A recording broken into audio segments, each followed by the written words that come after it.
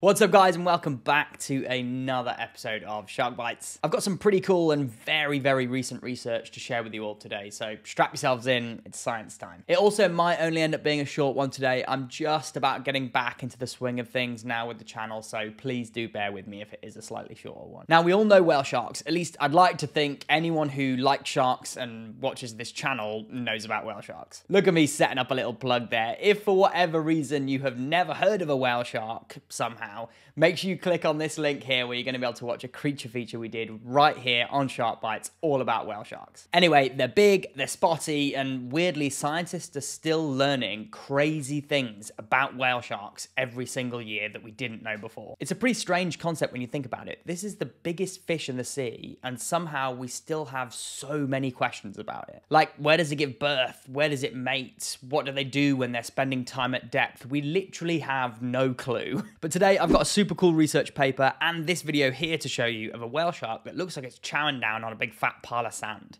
What are you doing, you little weirdo? so, whale sharks are pretty commonly referred to as filter feeding sharks. This means they usually swim along the surface of the water, filtering through that water to try and get plankton and small fishes. Or occasionally they'll actively feed by gulping, and you might have seen this in videos before where there's whale sharks glugging on fishermen's nets. When they're doing this, they're filtering through gallons and gallons of seawater, trying to get to and swallow the good stuff plankton. So please don't ever worry about getting swallowed by a whale shark. Their throats are absolutely tiny. Their throat is about the size of this coin here. So if you're a human, you're absolutely fine if you're a plankton or a tiny fish, you're screwed. So normally these sharks are feeding at the surface, at least that's where we've mostly seen them feeding before. But pretty recently, some scientists released a paper with the video that you've just seen showing a whale shark potentially feeding at the bottom. It was captured by some citizen scientists in La Paz, Mexico. Again, citizen scientists. You guys out there doing this, you're great. So I'm gonna show you this weird little bit of footage that we've got of a whale shark doing this and talk you through it. So initially we can see the shark here just swimming along in relatively shallow water.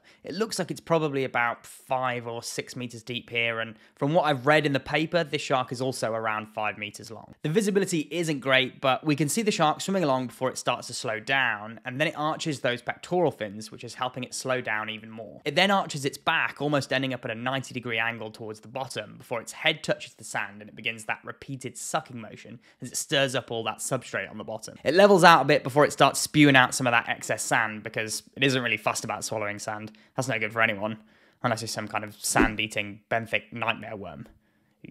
Anyway, the shark carries on swimming for a little bit before starting to perform the same suction behavior again, although this time it's then noticed the person alongside it in the water and stops and swims off. So, what's going on here? Well, the shark could just simply be feeding on its normal prey species, zooplankton, which has aggregated closer towards the seafloor. And in doing so, it could have just accidentally engulfed a load of sand in the process. Zooplankton are occasionally known to be densely packed towards the seafloor or towards the bottom of the water column. But the scientists who wrote the paper, as well as me to be fair, don't don't think that's the case. The movements and suction feeding that this particular shark is performing is way too purposeful for this to be an accident and happened twice over a really short space of time. And the more likely hypothesis here is that this whale shark is actively feeding on something that is living in that sand. And this would make whale sharks not just surface feeders, but also bottom feeders as well. But the really strange thing here is that this behavior has never been seen before, or at least caught on film. Whale sharks are probably one of the most well-known species when it comes to shark ecotourism. So many people head to various destinations all around the world to swim with these animals. So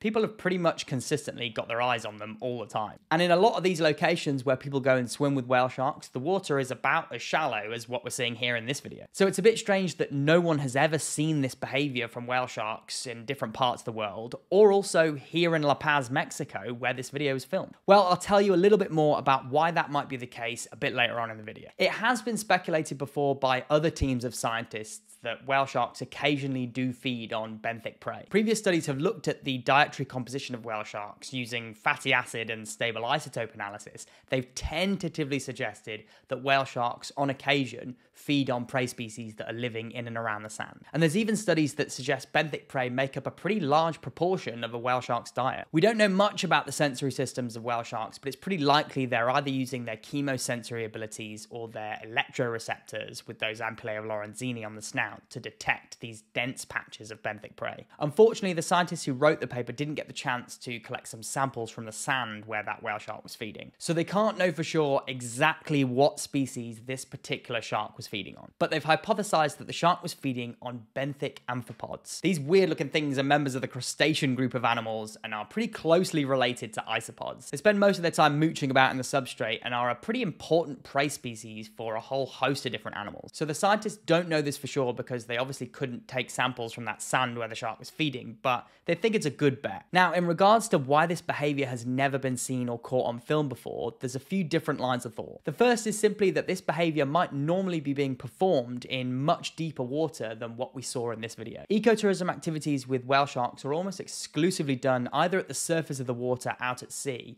or in shallower waters at inshore aggregation sites. So it might just be that we've never seen it before because we don't usually get to see these sharks in deeper water towards the bottom. And based on various biologging studies, we know that these sharks do spend a lot of their time at depth. Another hypothesis is that whale sharks might occasionally shift their diet depending on prey abundance. So based on the example that we've seen here, zooplankton densities might have been really scarce in that area, but benthic amphipod densities could have been really abundant. Basically, the whale shark has decided, right, I'm going to switch it up and feed on a different prey species. It's like you and me. If there's two restaurants where you live and one of them's just advertised a two for one deal and the other one's just posted on Facebook that they've run out of chickpeas, then you're going to choose the one that's got the two for one deal, right? Did I just say chickpeas? what a random food item to choose. But you get my point. Whale sharks will shift their diet depending on whatever is favorable at the time. If you want to know what the scientific term for that is, by the way, it's called facultative foraging shifts because it's always cool to impress your friends with a fun new science term. if you enjoyed that little science factoid, by the way, please do give this video a like because, well, I don't really have a reason for you right now, but I'd still appreciate any likes that you can give.